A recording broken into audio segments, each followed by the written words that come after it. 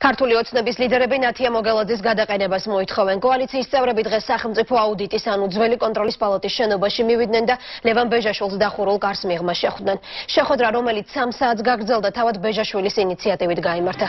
სახელმწიფო აუდიტის თავმჯდომარემ ქართული ოცნების წევრებს შესთავაზა პოლიტიკური პროცესებისთვის პრობლემატურ საკითხებზე მაკონტროლებელ უწყებასთან ითანამშრომლონ.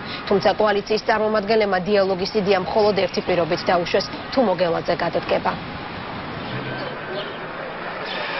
ჩვენ დავაფიქსირეთ პირველ რიგში ჩვენი აზრი, რომ ქალბატონი მოგელაძის ქმედებებიდან გამომდინარე, მისი სამსახურისადმი, მისი პერსონალიდან და ბატონი გიორგი ამირანაშვილის პერსონალიდან გამომდინარე, დობა არის ნული სტოლი და მოუწოდეთ ლევან ბეჟაშვილს, რომ იფიქროს საკადრო ცვლილებებზე, რათა ეს დიალოგი შედგეს.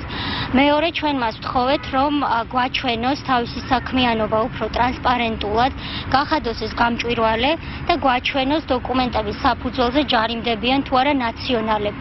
ჩვენ მას კიდევ ერთხელ უთხარით, რომ დეკემბერში შემუშავებული კანონი პირდაპირ ბიძინა ივანიშვილზე მორგებული და მის წინააღმდეგ მიმართული კანონია და თუ ეს ასე არ არის, ამას ჭირდება დამტკიცება და ეს მან უნდა დაგვიმტკიცოს.